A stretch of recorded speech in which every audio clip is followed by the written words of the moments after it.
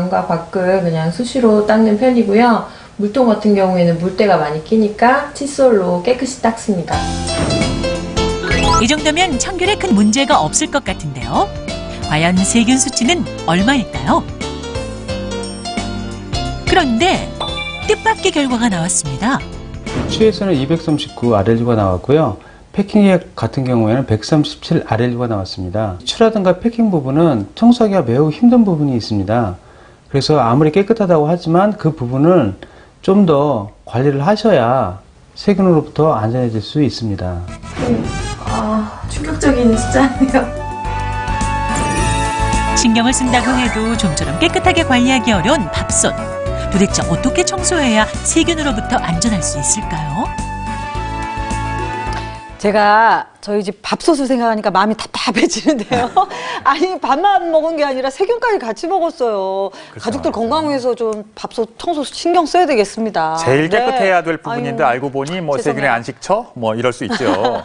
그러니까 보니까 부분 부분 이렇게 에, 변색된 곳도 보이고 하네요. 어떻게 우리가 에, 청결하게 유지해야 될까요? 네, 밥솥 청소하는 법도 사실 요령만 알면 아주 쉽거든요. 네. 근데 이렇게 특히 노즐 부분이라든지 청소하기 좀 어려운 부분을 청소하는 법을 알려드리겠습니다. 네, 아 예. 사실 이 부분이 굉장히 지저분하거든요. 막 김 나면서 뭐 네, 잘 그렇죠. 부분이라고 하나요? 네, 네. 네. 눈앞에 보이는데도 예, 청소하는 것도 쉽지 않고 그렇죠. 네. 네. 먼저 이제 청소를 하려면 이제 예. 세제도 필요하고 도구도 필요하겠죠. 네. 아유, 그래서, 예, 예. 네. 아? 보시면 아, 오늘 세제로는 베이킹 소다와 식초, 어, 식초, 식초, 네. 그리고 이거는 식초, 예, 그리고? 이건 EM 쌀뜨물 발효액이에요. 아, 네. 네. 네, 네, 네, 네. 그래서 세제로는 이렇게 준비하시고 도구로는 또 의외로 간단해요. 네. 뭐 칫솔이라든지 아 그리고 나무 젓가락, 음. 그러니까 면봉만 있으면 그 행주 만 있으면 아주 간단하게 청소를 할 수가 있어요. 장갑 쓰시니까. 수술하신 것 같아요.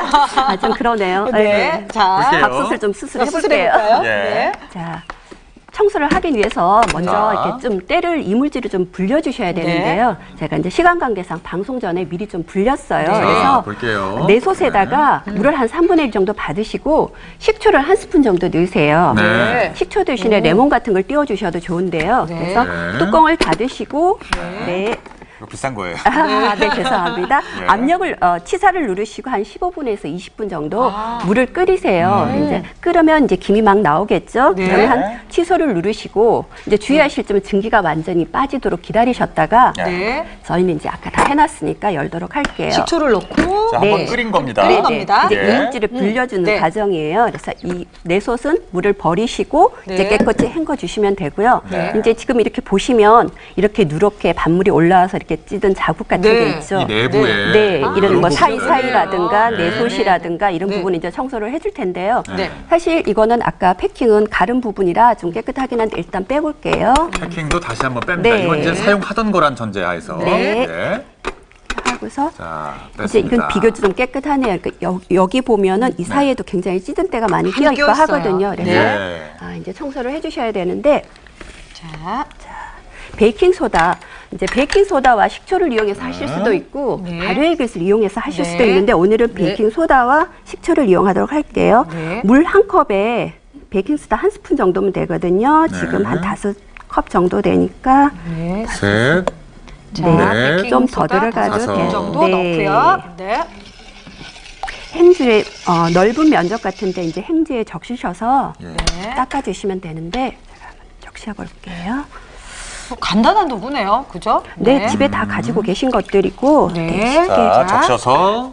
이제 이렇게 아. 닦아주시기만 하셔도 되는데 아, 아까 불려놨다 했더니 다시 말랐네요. 네. 집에서 청소하실 때는 이렇게 불리신 다음에 바로 하시면 이 과정만 해도 이렇게 일어나게 오, 그래도 되거든요. 중간중간 예, 예, 네, 예, 예. 누런 부분들이 네, 뭐 이런 안쪽이라든지 있네요. 이런 데도 마찬가지고요. 네. 그래서 이제 닦다 보시면 네.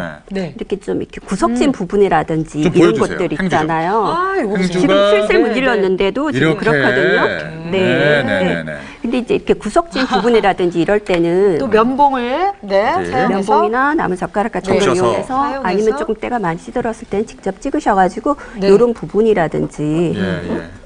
보이시는지 모르겠어요. 구석 이런데 네, 이렇게 왼손으로 해주시면 아, 더 좋을 것 네. 같아요. 여기요. 네. 여기, 여기. 어, 네. 그래요. 지금 이 그래요. 구석에 끼어 있던 네. 때가 싹 빠졌죠. 깨끗해졌어요. 그래서 네. 네, 그리고 이런 쪽도 이렇게 물을 묻히셔서 문질러 주시거나 네. 이럴 때 칫솔. 쓰는 칫솔이 네. 굉장히 요긴하거든요. 네, 베이킹 소다 물을